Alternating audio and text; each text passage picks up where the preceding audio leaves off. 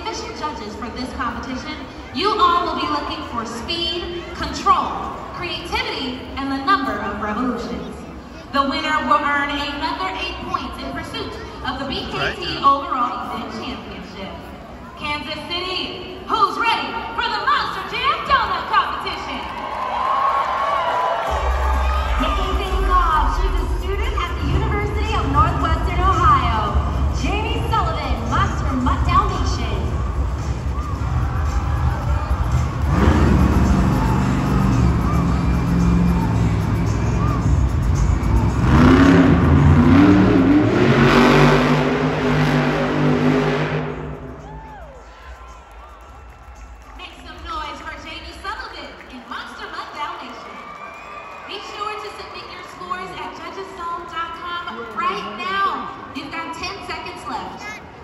Jamie Sullivan, Monster Mutt Dalmatian. Take a look at that super glue glued right to the action replay.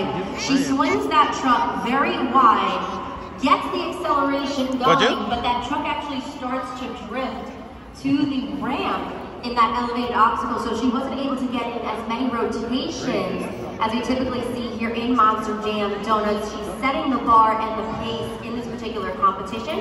So make sure you are scoring using judgeszone.com, a 7.099. That's going to be your score to beat here in the Monster Jam Donut competition.